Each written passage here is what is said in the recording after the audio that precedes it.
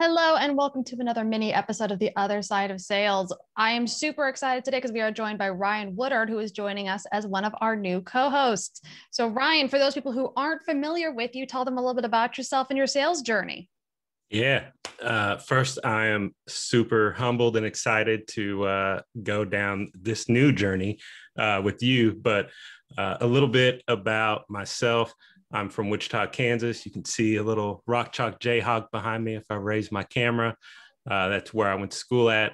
Uh, I started in sales uh, really as a young person. I was always kind of the, the guy that everybody asked about, uh, you know, decisions on electronics. So I've always been into computers and uh, video. You know, and you're not just into computers. You like build. You're the one person I found who like actually builds high-end computers. Yeah, uh, actually, recently I just got two uh, RTX 2080 Supers from Lenovo. So shout out to their customer service for making that happen for me. Uh, if you know anything about the current microprocessor shortage, it is a struggle out here. I, I know.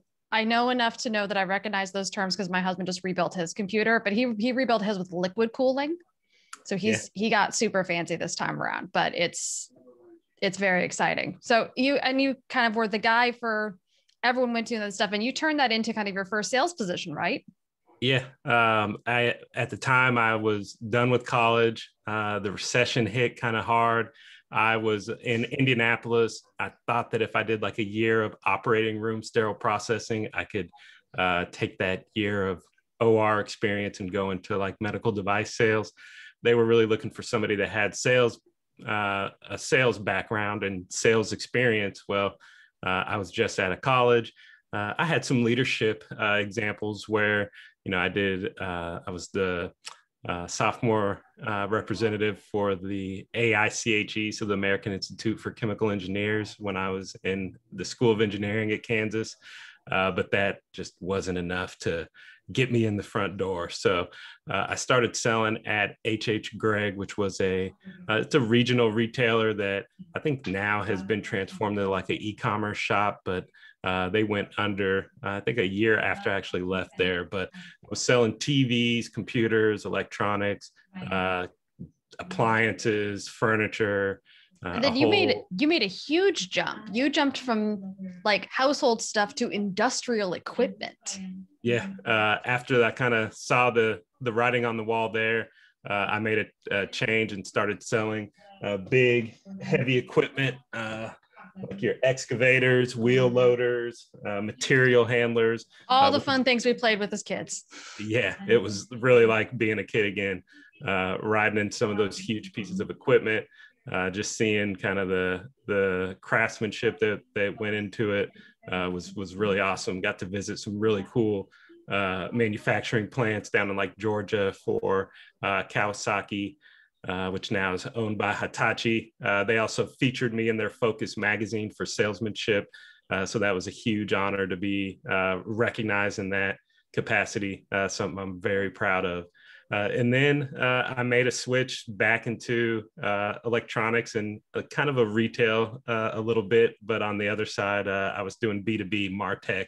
Uh, so their niche with this company was retail and e-commerce. So it was they were acquired by SAP late last year, and uh, then, most recently in March last month, I made the switch to be a BDR manager uh, for a fast paced startup uh, in the contact center as a service and unified communications as a service uh, space.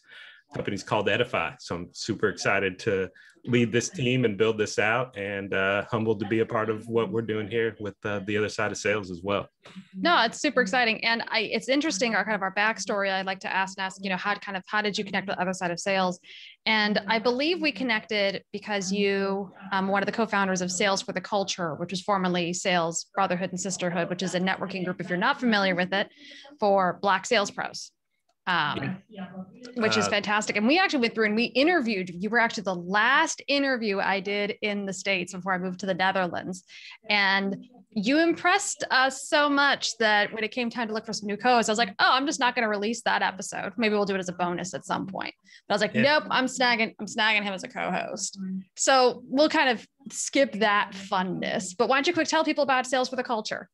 Yeah, before I go into that, I'll tell you something that's crazy that I didn't really, I don't think I shared with you. My dad was in radio uh, in Kansas. So it's kind of like, feels like a, you know, like, oh, this yeah, is in your blood. Yeah. And he doesn't, I haven't told him about this yet. So I know he's going to be like all super proud. Oh, yeah. You know, making my, my, my parents proud, something that uh, I think you uh, were doing that already. Yeah, I try. Sometimes I've I've come up short, but hey, we're human. That's what we uh, you know, I've got great parents that have taught me uh, to, you know, have ownership and hold yourself accountable and you know you can people will forgive you for missteps so uh, but sales for the culture uh, i actually met morgan because Emarsys which was the company i worked at previously we solicited him for uh, help kind of um, with just outreach, what the current state of outreach was. And all of our team went to like Dollar Tree and got fedora hats because if people remember, like the OG Morgan Ingram. Oh yeah, or, oh, yeah. Morgan Morgan's hat game was on was I, I think I think what did the kids still say on fleek? Is, is, is, that no longer a thing? I don't. Know. I just turned 35, so now I'm so out of touch with what the kids say. They're yeah, we're just, yeah, we, we, uh, we, we still make we, we make jokes referencing the late 90s, and people are like, I wasn't born yet. Right. And then you want to die. Yeah. right. And so um so sales for the got, culture. Got connected with with Morgan through um, you know, just uh, our, our team reaching out to him.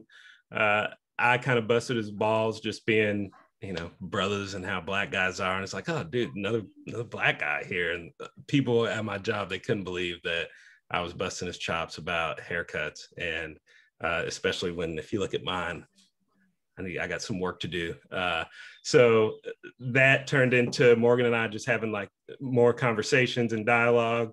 Uh, we, you know, have built a friendship, and he asked me to kind of own uh, the SDR portion of the sales uh, for, for, the culture uh, starting out, and um, it didn't really go. I mean, we had some traction, but we didn't really have like a real concrete vision until uh, our new like kind of fearless leader right now, Jacob.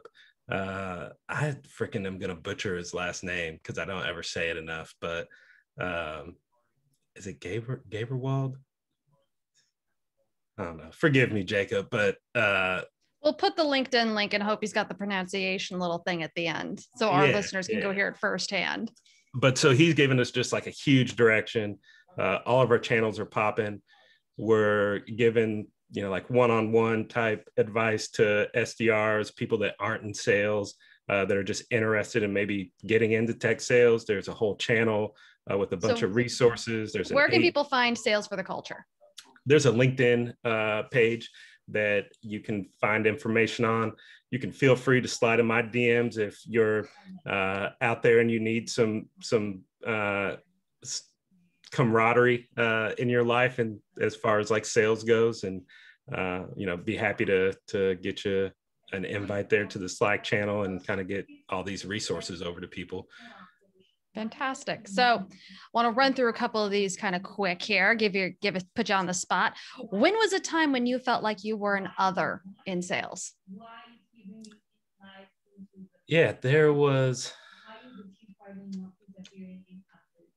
it's so hard to like pinpoint one that I really want to, you know, sometimes you tend to want to forget some of these traumatic experiences. So um, there was one time where there, I was at a sales, um, like a sales kickoff where, where there was like a training and all the sales team went out to dinner.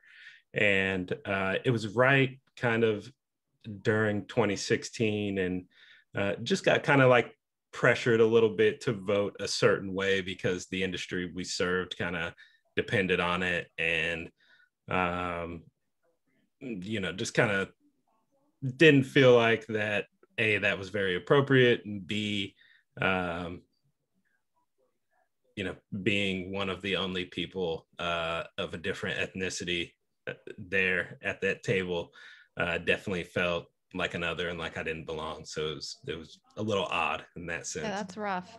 Uh, and you know, it's kind of being told like if you have a differing political opinion, don't talk about it or share it with anybody because then they're not going to want to do business with you. And I honestly found that to be quite the opposite. Most of the time, people, I wasn't the one that was engaging in these conversations. They, you know, my clients would, oh man, you, you know, black dude selling heavy equipment or, you know, and they would just ask questions. And so I'm the type person that like, yeah, we have a civil dialogue back and forth.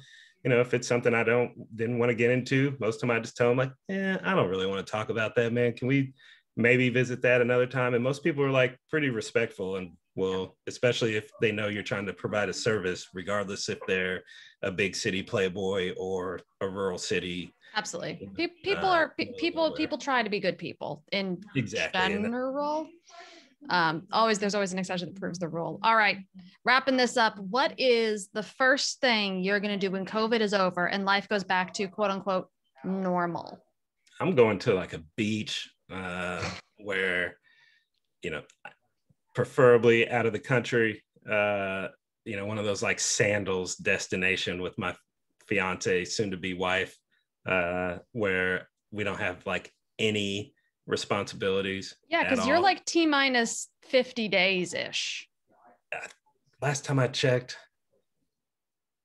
it was 53 days, and I think that was two days ago. So I think it might yeah. be 51, June 4th.